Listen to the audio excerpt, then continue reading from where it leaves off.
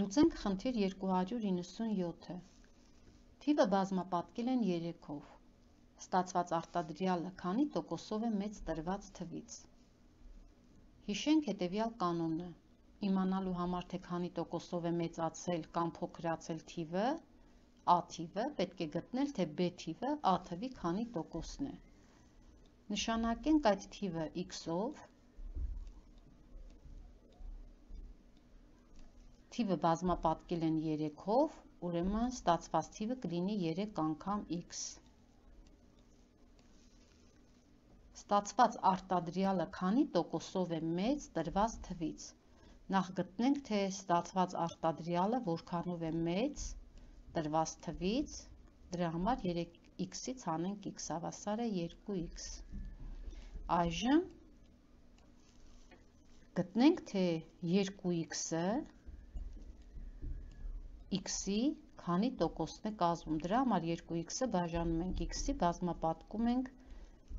100 տոկոսով։ x-երը կկրճատվեն,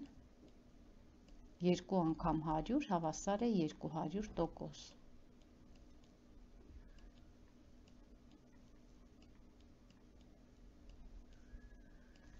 Սա առաջին տարբերակ։ Մենք կարող ենք նաև գտնել հետևյալ կերպ։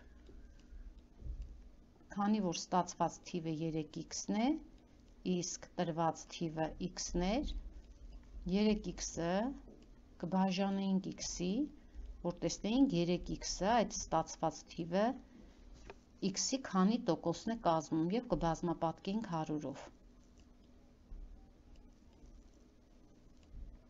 3x-ը բաժանելով x-ի բազմապատկելով 100 տոկոսով կստանանք, թե